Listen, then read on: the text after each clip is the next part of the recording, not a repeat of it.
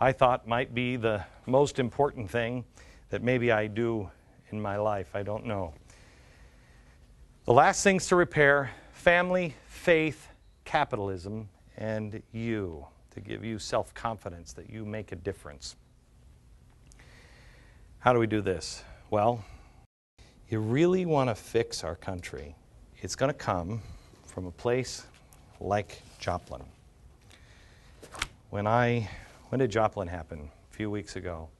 and I, I went in and I asked um, the money people um, and, uh, and also uh, the network, I want to go to Joplin. And they said, can't, too expensive, too difficult, and you'll get in the way.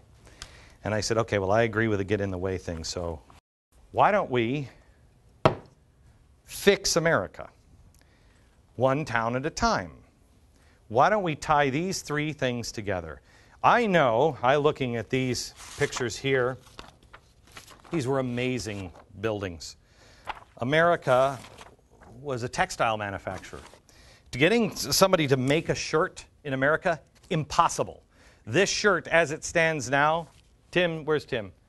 100 and 140 $150 to have this made and sold in America. I could have it made for about 40 or $50. Uh, that's what it cost me to make a shirt for me, but to then turn around and retail, it's about $150. You can't sell a $150 shirt in America. Why?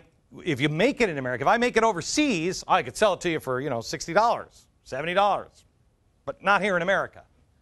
Well, those jobs don't, don't even exist anymore. Well, we have towns that are imploding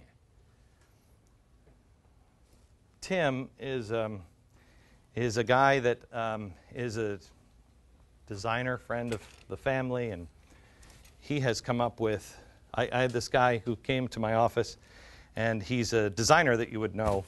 And he came to my office and he walked in and he was freaked out of his mind because he thought, oh, geez, here comes here's a TV host that wants to do a clothing line. Let me guess, it's another polo pony.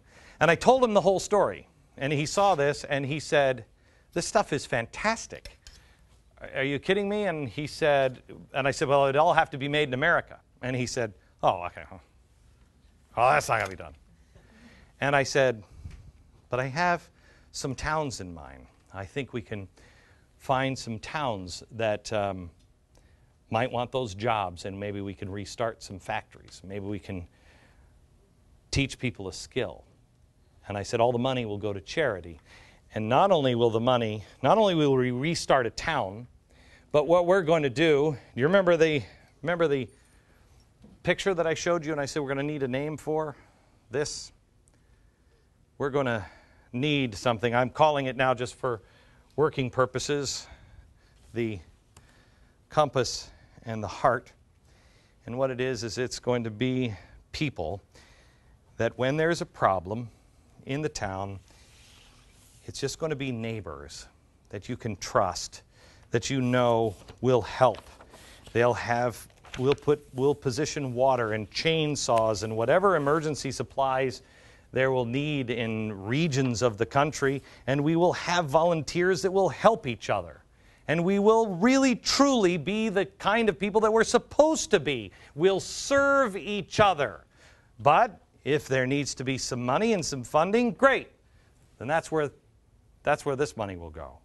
GBTV. The truth lives here.